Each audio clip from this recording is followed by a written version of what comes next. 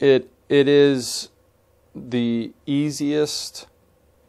to use and most powerful tool to go from being a tax accountant to a trusted advisor. To be able to have a deliverable to a client or to talk with some of the other CPAs in the office to say, hey, listen, we're doing this kind of analysis, here's what we have, and now we're actually focused on the value added process of the analysis. Um,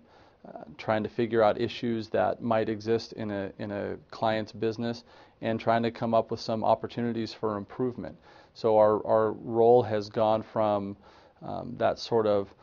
lower level, putting little numbers in little boxes, to actually looking at a business and being able to consult and advise and become that trusted advisor for clients.